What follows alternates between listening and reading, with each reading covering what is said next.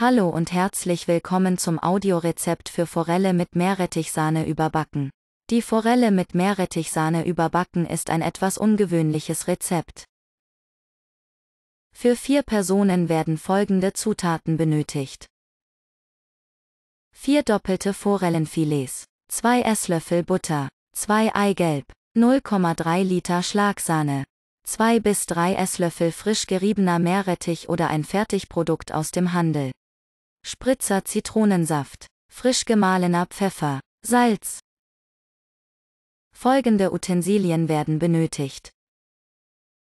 Backgitter, Auflaufform, Küchenmaschine mit Rührbesen oder Handrührer mit Rührbesen mit einer Rührschüssel, Palette.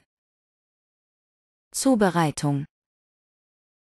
Das Backrohr auf Ober-Unterhitze 200 Grad Celsius vorheizen. Fischfilets waschen, mit Küchenpapier trocken tupfen, salzen und pfeffern. Mit Zitronensaft beträufeln. Die Auflaufform gut mit Butter einfetten. Die Filets schräg nebeneinander legen. Die Sahne mit Hilfe der Küchenmaschine zu Schlagsahne aufschlagen. Würzen, den Meerrettich und das Eigelb unterheben. Diese Sahnemasse mit einer Palette auf die Fischfilets verstreichen. Die Auflaufform auf der mittleren Schiene in das heiße Backrohr geben und 20 bis 30 Minuten backen lassen.